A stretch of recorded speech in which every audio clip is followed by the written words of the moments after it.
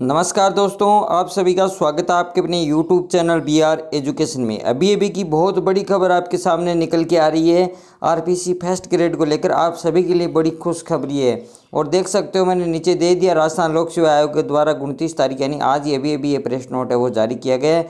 तो इससे पहले अपने आपको पूरी न्यूज़ दिखाएँ, इससे पहले बता दूँ, अगर आप हमारे चैनल पर नए और पहले बार विज़िट करें तो चैनल को सब्सक्राइब करके पास में बेल आइकन ज़रूर दबाएँ। ऐसी न्यूज़ आपको समय समय पर हमारे यूट्यूब चैनल पर है, वो मिलती रहती है। तो आइए हम वीडियो शुरू करते हैं। राजस्थान लोक सेवा आयोग, अजमेर की ओर से।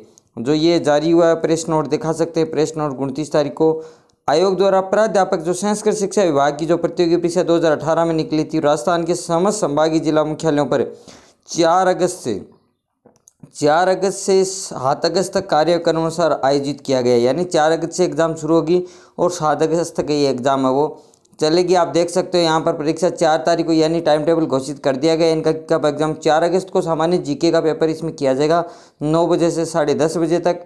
और पाँच तारीख को हिंदी और अंग्रेज़ी विषय का पेपर होगा। हिंदी का होगा नौ बजे से बारह बजे तक और अंग्रेज़ी का होगा दो बजे से पाँच बजे तक। फिर छः तारीख को होगा साहित्य और व्याकरण का। साहित्य का होगा नौ बजे से बारह बजे तक और व्याकरण का होगा दो बजे से पाँच बजे तक। वैसे ही सात तारीख को होगा इतिहास और सामान्य व्याकरण का।